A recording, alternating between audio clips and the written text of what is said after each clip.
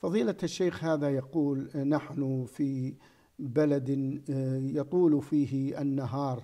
فإذا جاءنا رمضان فضيلة الشيخ كيف نصوم مأجورين؟ هل نفطر مع أهلنا مثلا في المملكة؟ لا تفطرون حكمكم في مكانكم. فإذا كان يأتي ليل ونهار خلال أربع وعشرين ساعة في خلال أربع وعشرين ساعة يأتي ليل ونهار فإنه يصام في النهار سواء كان النهار طويلا أو قصيرا. نعم.